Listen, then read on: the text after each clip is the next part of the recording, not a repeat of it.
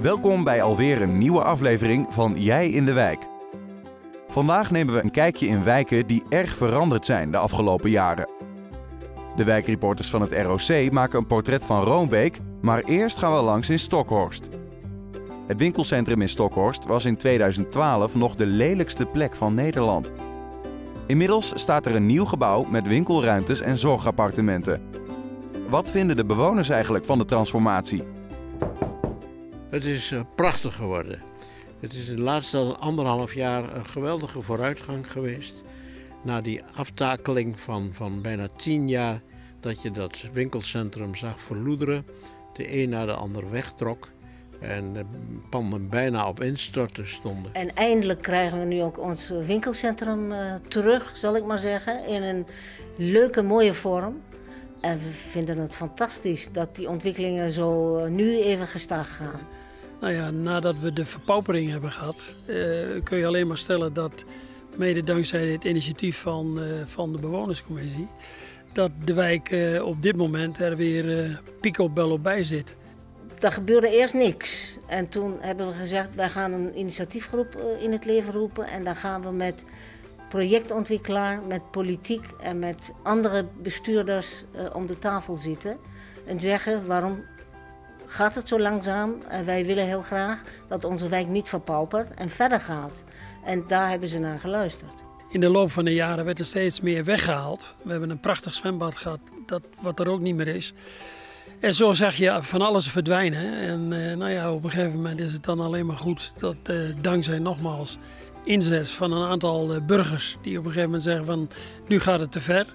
Dus we moeten er wat aan doen. Dat de wijk inmiddels weer een, een hele goede situatie heeft. In de zin ook van de normale winkels die je nodig hebt, et cetera. En wat zijn de reacties van de bewoners op de transformatie? Ja, ze vinden het heerlijk. Dat kun je zien van de nieuwe uh, supermarkt. Die peult uit. Dat is uh, zo'n grote reactie en behoefte aan geweest. Nou, uh, grote omzet.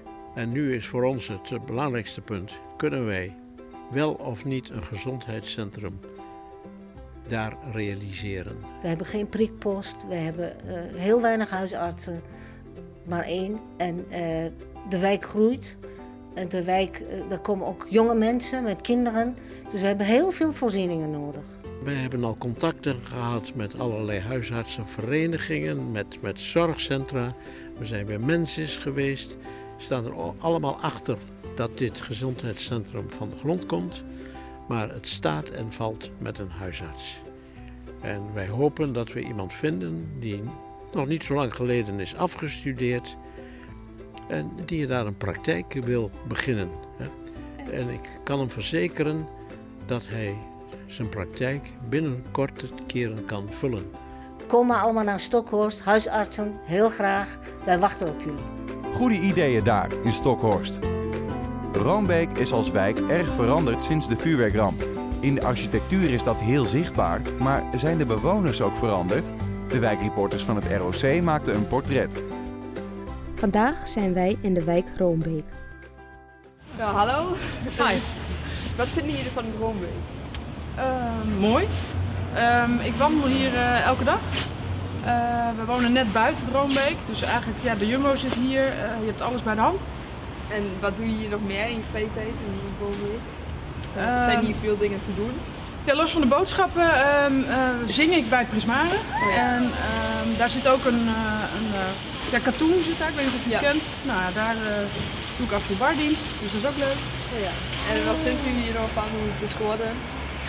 Ja, ik woon hier nog niet zo heel lang, dus ik, ik weet niet hoe het vroeger was. Maar hoe vindt u hoe het er nu uitziet? Dan? Ja, mooi. Mooi opgezet, mooi ruim. Uh, ja.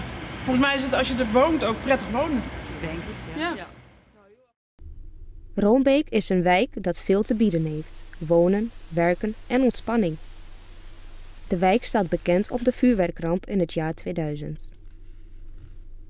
Na deze gebeurtenis is de wijk sterk ontwikkeld door middel van architectuur mix van oud en nieuw. Ik woon hier nou vanaf 2003. 2003, 2003 2004. Ik weet het niet precies meer. Dus uh, na de ramp dus. Wat is hier nou allemaal te doen? Oh, Er is nog genoeg te doen, maar ik ben niet zo'n uh, vlieger om overal heen te gaan. Maar de prismaren en zo, dat is een hoop te doen, ja. Mm. Okay. Ik kan best, uh, ja, dan ga ik nog wel eens enkel te, ga ik nog wel eens naartoe, ja. Oké, okay. oké. Ja, nou, ja, verder van Rome, ik, ik vind dat ook uh, momenteel zoals het opgebouwd is, ik vind het mooi, ja. Ja. Dus een, met, uh, met het uh, park zeg maar. En elk jaar ga ik naar die jaar, gedachten, ga ik er elk jaar naartoe. Dat, uh, dat is onvergetelijk. Ik heb er middenin gezeten. Van de eerste minuut tot de laatste minuut. Ik heb met mijn vrouw onder de tafel gezeten. Oh. Ja. Ja. 60. Ja.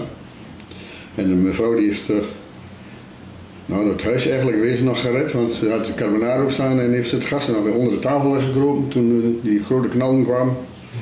Heeft het gas nog gedaan. En aan de overkant stonden de duizen al in brand. Dus toen zijn we maar, hebben we gemaakt dat we wegkwamen. Ja, ja.